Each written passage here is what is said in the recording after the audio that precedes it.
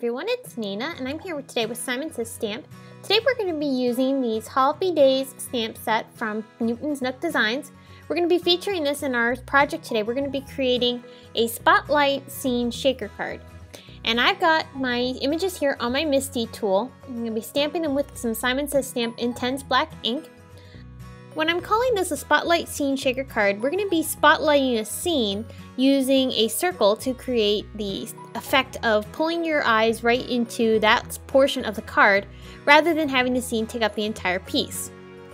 So here I'm stamping an extra little lily pad here for my frog scene. I'm going to color these images in with my Copic markers.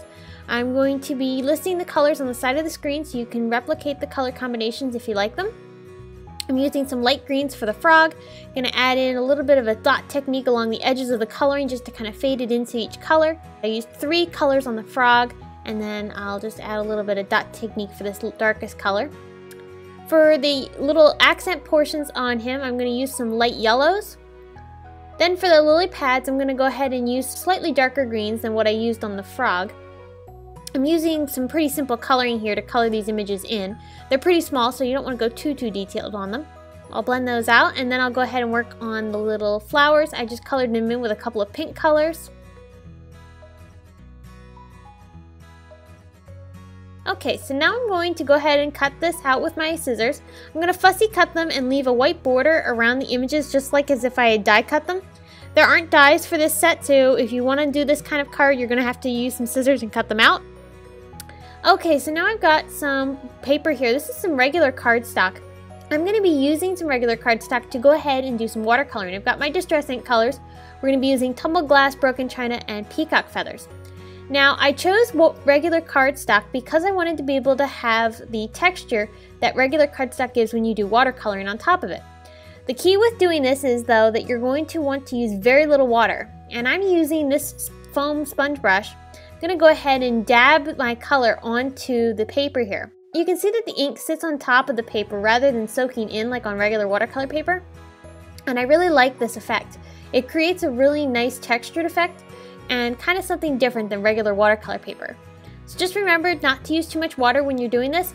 For this particular brush, I've squeezed it out quite a bit, and that helps keep, keep the water from being too heavy. Next, I'm to start working on the grass. We're to be putting some grass behind our water, and I'm using some green colors to do this. I've got Twisted Citron as the base color. Then I'm going to take some Lucky Clover and I'm going to add that in along the bottom. Now the Twisted Citron and the Lucky Clover don't technically blend together really nicely, but you're going to see once we got the Lucky Clover put down, we're going to add in a little bit of Mowed Lawn. And this is going to blend the colors and give them a nice green ombre color tone. It's a really nice color combination once you get the colors blending. Finally, I took a little bit more of that Lucky Clover on a block here, and I'm just going to flick on some of it using a paintbrush. I just dipped my paintbrush in water, got it nice and wet, and then dipped it into the Lucky Clover ink. And then I'll just flick that on using a brush, and I'll go ahead and dry that. Doing this creates a really nice splattered texture effect on the grass, and helps it look a little bit more realistic. Okay, so now we're going to be working on the panel that our scene is going to be nested into. I'm using a Simon Says Stamp Stitched Rectangle die and also a Simon Says Stamp Stitched Circle die. These are the largest in both sets. I'm going to be lining these up. You could do these one at a time, but to save time, I'm going to go ahead and do both of them together. So I'm going to line them up on my magnetic platform. The magnetic platform holds them in place so they don't move, and I'll just go ahead and run that through my machine. Next, we're going to take that blue piece that we've created for the water, and we're going to run this through with the Lawn Fawn Waves border die set. And then we're also going to take that green piece and die cut the grass using a My Favorite Things Grassy Hills die. Again, this magnetic platform is holding all of my dies in place, which saves me from having to tape them down as I run them through my machine. Alright, so to put our card together, I've added some acetate behind our panel, and I'm laying the little water piece on top. I die cut this using one that same stitched circle die, just to give it a nice clean edge so we can do some inlay die cutting going to take my lily pad and I'm going to add these on to my scene. I ended up not placing them in this exact placement. I ended up moving them slightly once I got them placed down, but you can get the general idea. You just build your scene, and again, we're spotlighting it in the top center of the card. And this is going to draw the person's eye that receives this card it's going to draw that person's eye to that portion of the card. So we're spotlighting a specific portion of the card rather than having a scene that takes up the entire card front.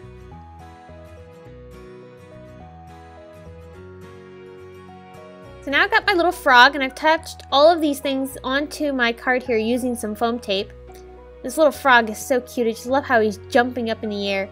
Before we go any further, I need to die cut a piece of craft foam or fun foam and I'm going to attach this to the back side of my panel. I used that same stitch circle die and we're going to be using this as a little bit of a shaker well for our card. So I'm just trim off all the edges. This helps make sure that I get the circle in a nice perfect placement. On a scrap piece of white cardstock, I'm going to stamp a sentiment from that Hoppy Days stamp set. I'm going to heat emboss this with some detail white embossing powder. I stamped it in some VersaFine Black Onyx ink, and I'm going to go ahead and fussy cut around this. I think we all wish we could cut this quickly. So this is going to go on our card right there. Moving on to the sky, I'm using the negative piece from the panel that we die cut earlier, and I'm using this to be the inlaid portion of my sky. So I'm using some squeezed lemonade Distress ink for the first color. Then I'm going to bring in some mustard seed for the slightly darker yellow. And I love these two colors together. They're such a vibrant and beautiful yellow combination that really looks nice. And this created a perfect sky backdrop for my scene. So here you can see I'm going to put this together. I'm going to make sure that it's lined up perfectly on my card by placing it inside the well. I'm going to make sure it's perfect and then I'm going to add some tape to the back.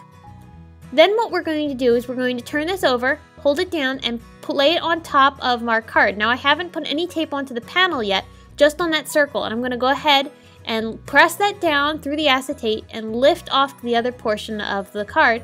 And there you can see we have our circle in the perfect placement for when we put the rest of our card together.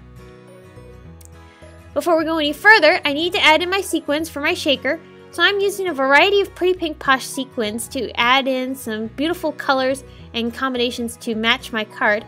I used some aquamarine, these are sparkling clear. I'm going to also use some pink blush and lime sorbet. Here's the lime sorbet right here. These are the 4mm and 6mm in all of these different colors. You can see the 6mm are bigger. So that's the pink blush. I'm going to add some of that in. And finally, I'm going to add in some orchid sequins to go ahead and add in a little bit more color. So I'm attaching my panel onto my card base using some Scor-Tape. And I'm going to go ahead and lay this down on top of my shaker elements.